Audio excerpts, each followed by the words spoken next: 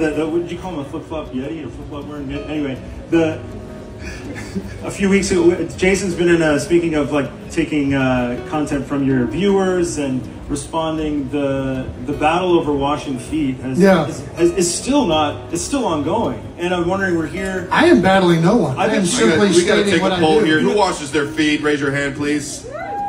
Really? 50 50. I am calling Nice. bullshit. Who works for a soap brand? Anybody? Big Soap? Big Soap's not in the building. P&G? I thought Big Soap was going to be here 503 for didn't make sure. it And G, I thought would be. Have you? So you have not gotten a call from Big Soap? I am. I have.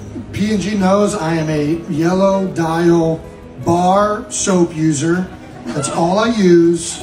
I hit my hot spots, armpit, armpit, front and back, and I'm out of there. That's it. That's a commercial right there. The suds will get whatever. I mean, if there's visible dirt, Yeah. I'll take it to the foot. When did, since when?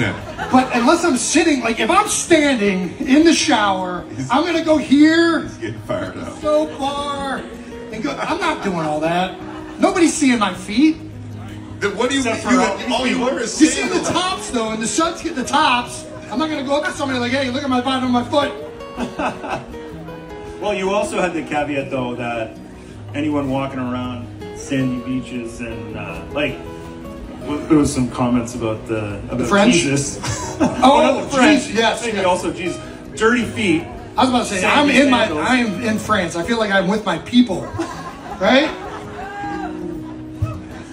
No, I'm. This, I'm not gonna say anything. Yeah, right.